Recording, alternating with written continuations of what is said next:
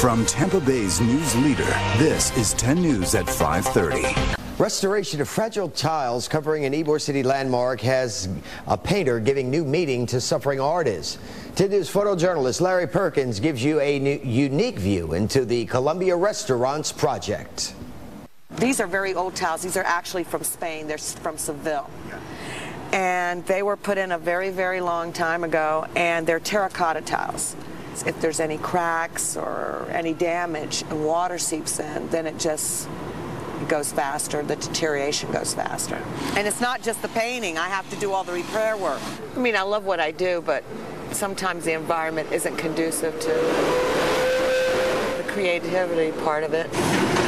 For a while, I couldn't understand when I first started the job why I was getting headaches, and then it occurred to me that the sound, the sound is, it's, it's loud. Did I mention the motorcycles? This building's been hit about eight or nine times.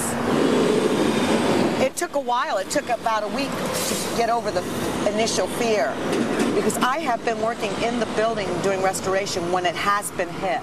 The last time it got hit, I was not here and it went through the cigar shop. Those twisted columns you see there, they used to go all the way down here. They got tired of replacing them. And then you see that vent above you? When I did start the project, I started from up there and it was it was much cooler then. It's where the vent for the dryer comes out. And as I'm progressing down the end of the wall, it's it's getting hotter and hotter.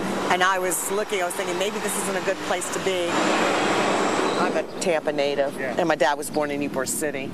So it means something to me. It's not just you know, the job. It, it is the Columbia restaurant, so, you know that's the cool thing about it too.